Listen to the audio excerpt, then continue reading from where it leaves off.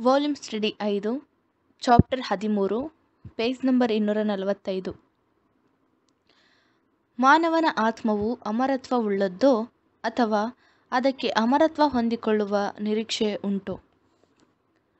ಮಾನವನ ಆತ್ಮ ಚೇತನಾಯುಕ್ತ ಜೀವವು ಜೀವಶ್ವಾಸವು ಮಾನವನ ಶರೀರದೊಂದಿಗೆ ವಿಲೀನಗೊಂಡುವುದರ ಪರಿಣಾಮವಾಗಿ ಉಂಟಾಯಿತೆಂಬುದನ್ನು ನಾವು ನೋಡಿದ್ದೇವೆ.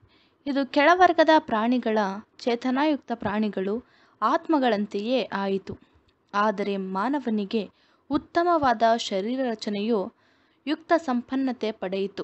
ಅಂದರೆ ಆತನು ಶ್ರೇಷ್ಠವಾದ ಶಕ್ತಿಗಳುಳ್ಳ ಮತ್ತು ಗುಣಲಕ್ಷಣಗಳುಳ್ಳ ಶರೀರ ರಚನೆಯನ್ನು ಪಡಕೊಂಡನು. ನಮ್ಮ ಪ್ರಸ್ತುತ ವಿಚಾರಣೆಯೆಂದರೆ ಎಲ್ಲ ಪ್ರಾಣಿಗಳು ನಿರ್ಲಯತ್ವ ಅಥವಾ ಅಮರತ್ವ ಉಳ್ಳವುಗಳೋ, ನಾವು ಇದಕ್ಕೆ ನಕಾರಾತ್ಮಕವಾಗಿ ಉತ್ತರಿಸಿದರೆ ಮಾನವನಿಗೆ ಅಮರತ್ವದ ನಿರೀಕ್ಷೆ ಉಂಟು ಮಾಡುವಂತೆ ಬೇರೆ ಪ್ರಾಣಿಗಳಿಗಿಂತ ಹೆಚ್ಚಾದದ್ದನ್ನು ಆತನು ಏನು ಹೊಂದಿಕೊಂಡಿದ್ದಾನೆ ಎಂದು ವಿಚಾರಿಸಬೇಕಾಗುತ್ತದೆ. ಸೊಲೋಮನನು ಹೇಳಿರುವಂತೆ, ಮತ್ತು ನಮ್ಮ ಸ್ವಂತ ಅವಲೋಕನದಂತೆ ಮಾನವನು ಸಹ ಬೇರೆ ಪ್ರಾಣಿಗಳಂತೆ ಮರಣಕ್ಕೆ ತುತ್ತಾಗುವವನಾಗಿದ್ದಾನೆ. ಮನುಷ್ಯನ ಗತಿಯು ಪಶುವಿನ ಗತಿಯು ಒಂದೇ. ಪಶುವಿನ ಸಾವು ಬರುವ ಹಾಗೆ ಮನುಷ್ಯನಿಗೂ ಬರುವುದು. ಎಲ್ಲಕ್ಕೂ ಪ್ರಾಣ ಒಂದೇ, ಮನುಷ್ಯನು ಪಶುವಿಗಿಂತ ಶ್ರೇಷ್ಠನಲ್ಲ. ಪ್ರಸಂಗಿ ಮೂರನೇ ಅಧ್ಯಾಯ ಹತ್ತೊಂಬತ್ತನೇ ವಚನ. ಪ್ರತಿಯೊಬ್ಬರ ಬಳಿಯೂ ಇರುವ ದುಃಖ, ಸೂಚಕವಾದ ಕಪ್ಪು ವಸ್ತ್ರ, ಸುಗಂಧ ದ್ರವ್ಯದ ಭರಣಿ, ಶವದ ವಾಹನ, ಸಮಾಧಿ ಇವುಗಳು ಮಾನವನು ಸಾಯುತ್ತಾನೆ, ಆತನು ನಿರ್ಲಯನಲ್ಲ ಎಂಬುದಕ್ಕೆ ಸಾಕ್ಷಿಯಾಗಿವೆ. ಯಾಕೆಂದರೆ ಅಮರತ್ವ ಎಂಬ ಪದವು ಮರಣವಿಲ್ಲದ್ದು. ಸಾಯದಿರುವುದು ಎಂಬುದನ್ನು ಸೂಚಿಸುತ್ತದೆ. ನಿರ್ಲಯತ್ವದ ಬಗ್ಗೆ ಮಾನವನ ನಿರೀಕ್ಷೆಗಳು ಏನೇ ಇರಲಿ, ಅದು ಪ್ರಸ್ತುತದಲ್ಲಿ ಪಡಕೊಳ್ಳುವುದಲ್ಲ. ಹೆಚ್ಚೆಂದರೆ ಮುಂದಿನ ಕೆಲವು ದೈವಿಕ ಕೊಡುಗೆಗಳಲ್ಲಿ ಇದೂ ಸಹ ಒಂದಾಗಿದ್ದಿರಬಹುದು. ಈ ಪ್ರಶ್ನೆಯ ಬಗ್ಗೆ ಹೆಚ್ಚಿನ ವಿವರಣೆ ಮಾಡುವ ಮೊದಲು ನಾವು ಮರ್ಥ್ಯ ಮತ್ತು ಅಮರ್ಥ್ಯ ಎಂಬ ಪದಗಳ ಅರ್ಥವನ್ನು ಪರಿಗಣಿಸುವುದು ಲಾಭಕರವಾಗಿದೆ. ಯಾಕೆಂದರೆ ಈ ಪದಗಳ ಮಹತ್ವಗಳನ್ನು ದಟ್ಟವಾಗಿ ತಪ್ಪು ಅರ್ಥ ಮಾಡಿಕೊಂಡಿರುವುದೇ ಬಹಳವಾಗಿ ಪ್ರಚಲಿತದಲ್ಲಿದೆ.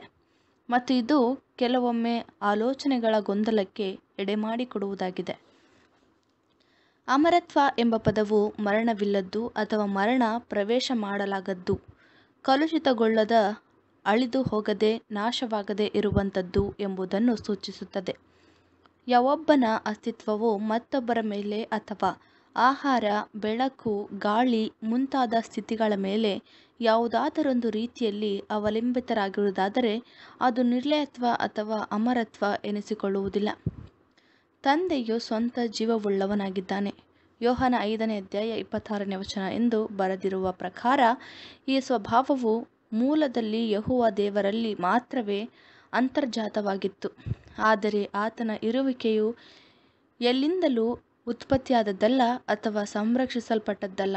ಆತನು ಸರ್ವಯುಗಗಳ ಅರಸನು, ನಿರ್ಲಯನೂ, ಅದೃಶ್ಯನೂ ಆದ ಏಕದೇವರು. ಒಂದನೇ ತಿಮೋತಿ ಒಂದನೇ ಅಧ್ಯಾಯ ಹದಿನೇಳನೇ ವಚನ. ಈ ವಿಷಯದಲ್ಲಿ ಇಂತಹ ದೇವರ ವಾಕ್ಯಗಳೇ ಅಧಿಕಾರಯುಕ್ತವಾಗಿ ನಿರ್ಣಯಕರವಾಗಿದೆ. ಪ್ರಾಯಶಕ್ಕೂ ಮಿಗಿಲಾಗಿ ಮಾನವರು, ದೇವದೂತರುಗಳು, ಪ್ರಧಾನ ದೂತರುಗಳು ಮತ್ತು ದೇವಕುಮಾರನು ಸಹ ಮಾಂಸಧಾರಿಯಾಗಿ ನಮ್ಮ ಮಧ್ಯದಲ್ಲಿ ವಾಸ ಮಾಡಿದ ಕಾಲದಲ್ಲಿಯೂ ಅದಕ್ಕೆ ಮುಂಚೆಯೂ ಅಮರ್ಥ್ಯರಲ್ಲ, ಎಲ್ಲರೂ ಮರ್ಥ್ಯರೇ ಎಂಬುದನ್ನು ನಾವೆಲ್ಲರೂ ತಿಳಿದಿರಬೇಕು. ಆದರೆ ಮರ್ಥ್ಯ ಎಂಬ ಪದವು ಕೇವಲ ಮರಣ ಹೊಂದುವುದು ಎಂಬುದನ್ನು ಸೂಚಿಸುತ್ತದೆ. ಮರಣ ಹೊಂದಬಹುದು ಎಂಬುದನ್ನು ಮಾತ್ರವೇ ಸೂಚಿಸುತ್ತದೆ. ಜೀವವನ್ನು ಹೊಂದಿರುವುದು ಅದನ್ನು ಮುಂದುವರಿಸಿಕೊಂಡು ಹೋಗುವ ದೇವರ ಮೇಲೆ ಅದು ಅವಲಂಬಿತವಾಗಿದೆ. ಉದಾಹರಣೆಗೆ ದೇವದೂತರುಗಳು ಸಹ ಅಮರ್ಥರಲ್ಲ, ಅವರು ಸಾಯಬಹುದಾಗಿದೆ. ಅವರು ದೇವರ ಜ್ಞಾನಕ್ಕೆ ವಿರೋಧವಾಗಿ, ಆತನ ಪ್ರೀತಿಯುಳ್ಳ ಆಡಳಿತಕ್ಕೆ ವಿರೋಧವಾಗಿ ದಂಗೆ ಏಳುವಾಗ ಅವರನ್ನು ದೇವರು ನಾಶಪಡಿಸುತ್ತಾನೆ. ಆತನಲ್ಲಿ ಆತನ ಅನುಗ್ರಹದಲ್ಲಿ ಅವರು ಜೀವಿಸುತ್ತಾರೆ, ಚಲಿಸುತ್ತಾರೆ ಮತ್ತು ಅವರ ಅಸ್ತಿತ್ವವಿದೆ. ನಿಜವಾಗಿಯೂ ಬೆಳಕಿನ ದೂತನಾಗಿದ್ದ ಸೈಥಾನನು ದೇವರಿಗೆ ವಿರುದ್ಧವಾಗಿ ದಂಗೆದ್ದ ಕಾರಣ ಸೂಕ್ತ ಸಮಯದಲ್ಲಿ ಆತನು ನಾಶಗೊಳ್ಳುವನು ಎಂದು ಬರೆದಿದೆ. ಇಬ್ರಿಯ ಎರಡನೇ ಅಧ್ಯಾಯ ಹದಿನಾಲ್ಕನೇ ವಚನ. ಇದು ಸೈತಾನನು ಮರ್ತ್ಯನು ಎಂಬುದನ್ನು ಸಾಬೀತುಪಡಿಸುವುದು ಮಾತ್ರವಲ್ಲ, ಇದು ದೇವದೂತರ ಸ್ವಭಾವವು ಮರ್ತ್ಯ ರೂಪವಾಗಿದೆ ಎಂಬುದನ್ನು ಸಹ ಸಾಬೀತುಪಡಿಸುತ್ತದೆ. ತನ್ನ ದೃಷ್ಟ ಕರ್ತನಿಂದಲೇ ನಾಶನಕ್ಕೆ ಒಳಗಾದವನು ಮಾನವರು ದೇವದೂತರುಗಳಿಗಿಂತ ಸ್ವಲ್ಪವೇ ಕಡಿಮೆ ಆಗಿ ಮಾಡಲ್ಪಟ್ಟಿದ್ದಾರೆ. ಕೀರ್ತನೆ ಎಂಟನೇ ಅಧ್ಯಾಯ ಐದನೇ ವಚನ ಎಂದು ಬರೆಯಲ್ಪಟ್ಟಿದೆ. ಮತ್ತು ಇದರ ಪರಿಣಾಮವಾಗಿ ಅವರುಗಳು ಸಹ ಮರ್ತರಾಗಿದ್ದಾರೆ. ನಮ್ಮ ಜನಾಂಗದವರು ಕಳೆದ ಆರು ಸಹಸ್ರ ವರ್ಷಗಳಿಂದ ಸಾಯುತ್ತಲಿದ್ದಾರೆ ಎಂಬುದೇ ಇದಕ್ಕೆ ಸಾಕ್ಷಿಯಾಗಿದೆ. ಕ್ರಿಸ್ತನಲ್ಲಿರುವ ಭಕ್ತರುಗಳು ಸಹ ನಿರ್ಲಯತ್ವವನ್ನು ಬಯಸುವಂತೆ ಬೋಧಿಸಲಾಗಿದೆ. ರೋಮಾಪುರದವರಿಗೆ ಎರಡನೇ ಅಧ್ಯಾಯ ಏಳನೇ ವಚನ. ಮರ್ತ್ಯ ಎಂಬುದರ ಸಾಮಾನ್ಯ ನಿರೂಪಣೆ ಎಂದರೆ ಸಾಯುವುದು ಮತ್ತು ಅಮರ್ಥ್ಯವೆಂದರೆ ನಿತ್ಯವಾಗಿರುವುದು. ಇವೆರಡೂ ತಪ್ಪಾಗಿವೆ. ಈ ಸಾಮಾನ್ಯ ಅರ್ಥ ವಿವರಣೆಯು ತಪ್ಪೆಂದು ನಿರೂಪಿಸಲು ನಾವು ಒಂದು ಸರಳವಾದ ಪ್ರಶ್ನೆಯನ್ನು ಪರ್ಯಾಲೋಚನೆಗಾಗಿ ಮುಂದಿಟ್ಟುಕೊಳ್ಳೋಣ. ದೇವರಿ ವಾಕ್ಯವನ್ನು ಆಶೀರ್ವದಿಸಲಿ.